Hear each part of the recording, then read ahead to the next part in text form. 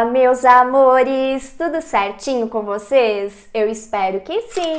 Eu sou a Jéssica e no vídeo de hoje eu vim conversar com vocês sobre maquininha de cartão. Afinal, como escolher a melhor opção? Hoje, quem é empreendedor sabe que precisa buscar formas de atrair o público. E quem não tem uma maquininha de cartão hoje em dia pode acabar perdendo vendas, porque a maioria das pessoas hoje anda com cartão de crédito e débito.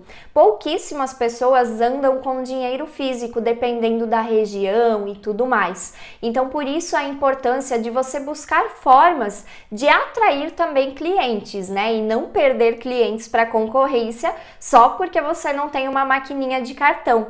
E eu sei que acaba gerando aquela dúvida de como escolher a melhor maquininha. Por isso, no vídeo de hoje, eu separei algumas dicas, alguns fatores que você deve analisar no momento de escolher a sua maquininha, tá? Então, eu escolhi alguns pontos que você deve avaliar.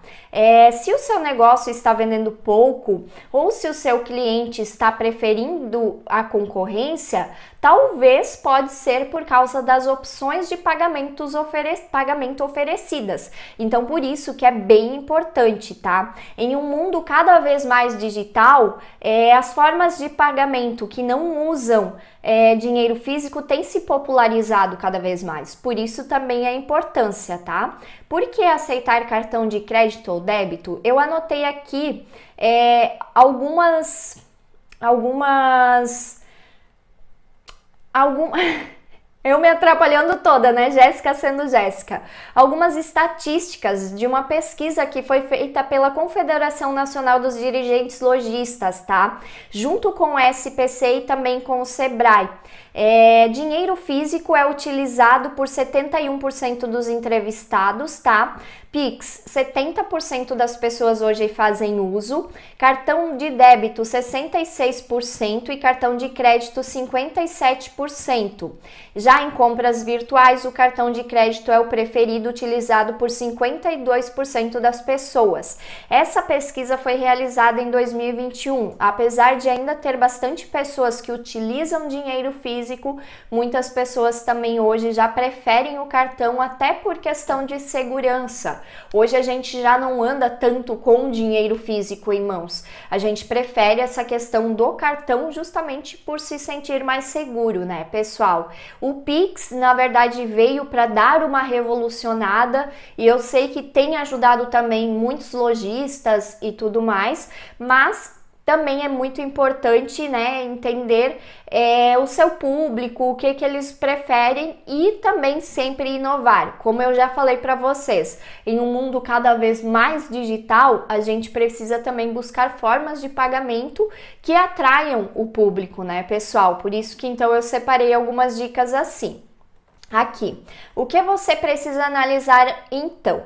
Primeiro, você precisa entender o seu cliente. Como eu já falei para vocês, né? Você precisa ver o que, que o seu cliente acaba usando com mais frequência.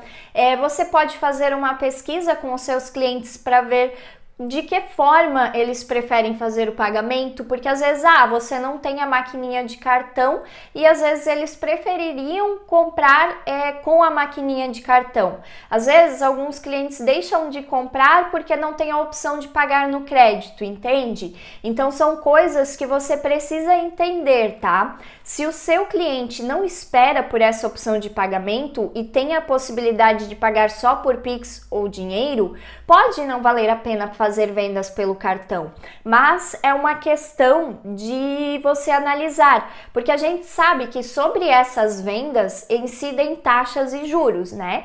Então você também vai precisar avaliar essas questões. Mas dependendo ali do seu público, pode sim valer a pena ou não. A segunda questão que você deve avaliar é todas as taxas que aquela maquininha cobra, tá? As vendas no cartão de crédito ou débito geram taxas administrativas de em média de 2 a 3,5%.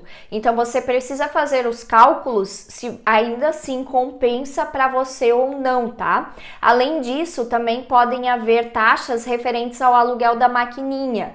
Então o preço acaba variando de marca para marca. São coisas que você precisa considerar todos esses valores, porque você vai ter que rever também talvez a sua precificação, os seus lucros, né? Então você precisa entender tudo isso para poder escolher a melhor opção, tá? Outra, é, outro fator que você precisa analisar é as opções que o mercado oferece. Hoje em dia já existem muitas opções de maquininhas de cartão, tá? É, há a possibilidade de pagar pelo aparelho e não pagar aluguel, há a possibilidade de você pagar aluguel, tem aquelas que aceitam muitas bandeiras, tem aquelas que aceitam menos. É, então, assim, Existem realmente hoje muitas opções que você pode escolher. Então, o fundamental é você entender que cada opção, o que cada opção acaba oferecendo e comparar, com, e comparar considerando o que você precisa para o seu negócio hoje. Então, é uma questão de você realmente sentar, fazer anotações, avaliar maquininha por maquininha, tá? É, outra, outra questão que você precisa avaliar é o tempo de repasse dos pagamentos. Por quê? Porque quando você faz vendas no cartão, esse, esse dinheiro ele não é repassado imediatamente ao lojista, tá? Quando uma venda é feita, os depósitos podem demorar de 1 até 30 dias. Então também é uma questão é, que você tem que avaliar. O tempo depende da operadora, cada uma repassa de uma forma e também do tipo de pagamento, que é débito, crédito à vista ou crédito parcelado, tá? Outro fator que você também deve avaliar é as bandeiras aceitas. Hoje em dia, é, existem maquininhas que só aceitam uma bandeira de cartão, mas é, às vezes vai que é uma bandeira que poucas pessoas usam, mas tem as bandeiras mais populares, que são Mastercard e Visa, que just, juntamente correspondem a praticamente 80% do mercado de cartões. Então, se você decidir aceitar pagamentos no cartão, é, opte por maquininhas que aceitem essas bandeiras mais populares, mais conhecidas, para que você consiga atingir um público maior também, tá? E seis, entenda as tecnologias oferecidas. É, a gente sabe que hoje pagamento por aproximação com a tecnologia contactless tem se tornado cada vez mais comum. Então, assim, é, então a gente precisa entender o que, que essas maquininhas oferecem. Oferecem. Algumas maquininhas têm a, a questão do Wi-Fi eficiente, é, são coisas que você precisa avaliar de máquina para máquina para tentar entender e ver o que é melhor para você, sabe? Então é uma questão realmente de você sentar e avaliar o que vai valer a pena para o meu negócio. E basicamente é isso, gente. Não tem muito segredo, são alguns detalhes, né? Mas você vai precisar avaliar conforme o seu negócio também. Eu espero de coração que eu tenha ajudado. Eu peço para que você compartilhe nos comentários a sua dúvida, a sua opinião, o seu relato, até para que a gente possa conversar e se ajudar referente ao assunto, tá bom? Muitíssimo obrigada pela sua atenção, um super beijo a todos e todas e até o próximo vídeo. Tchauzinho!